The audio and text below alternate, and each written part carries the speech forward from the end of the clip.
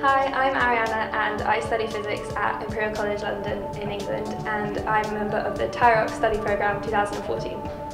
Hi, I'm Law. Uh, I am from the Massachusetts Institute of Technology and um, I'm doing TIROP summer 2014.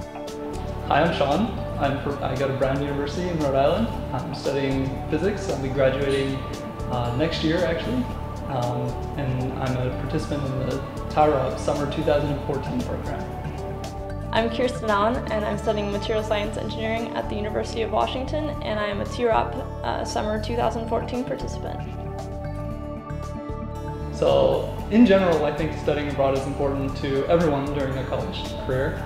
Um, I think having an international perspective and an appreciation for other cultures is a good thing both as a citizen and you know in your own career uh, I decided to study abroad because I'd never had a gap year and I'd never even really left Europe.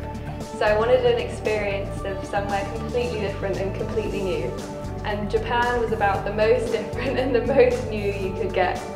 And the culture was just so interesting and so unique compared to anywhere I'd ever been before. So as soon as I saw the opportunity, I thought, I have to go there. Oh, it's been great so far. Um, I'm working on a research project that involves using uh, DNAzymes, which are this catalytic DNA, and I'm working in um, a bioengineering department.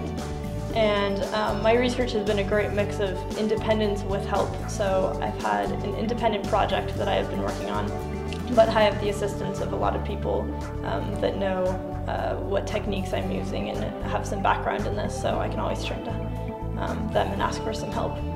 So I think the best part has to be um, getting to know the people in my lab. They've all been extremely nice, welcoming, very helpful. You know, um, one, one of the guys I work with works on things that are very similar to what I'm researching, and he's basically become a research partner. Um, his research has become aligned with mine very much, and so we're working together towards you know the end goal of um, maybe getting my research published, which is extremely exciting.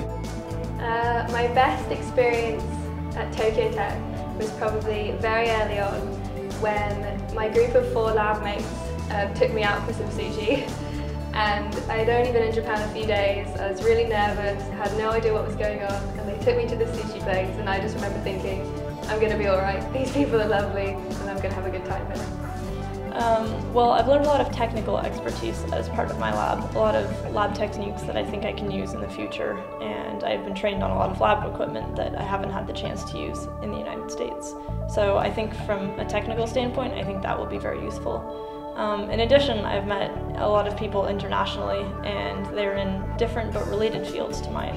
And uh, when I go out into my career in the future, um, it will not be just uh, textbook style only material science that I will be studying. I'm sure I will need the help of electrical engineers or uh, mechanical engineers, like uh, likewise. So I think it'll be great to have um, people I can turn to in other countries and other places with their own experiences um, in their own careers to get that kind of um, information that I'll need. Studying abroad kind of opens up your perspective and it gives you a, a greater sense of how to handle problems um, because everyone thinks differently and you might think you have a solution and it only gets you so far and you talk to somebody else and they have a completely different perspective and that really helps you solve your problems. And when you do international um, studying abroad like like TIROP is um, you get very different perspectives on things. And it's really nice to kind of take those uh, perceptions, perspectives, and uh, integrate it into your way of thinking, the way you handle problems. This experience has definitely given me the confidence to take that leap and go into graduate study abroad because I was considering it before I came here but I didn't really know if I had the confidence or the ability.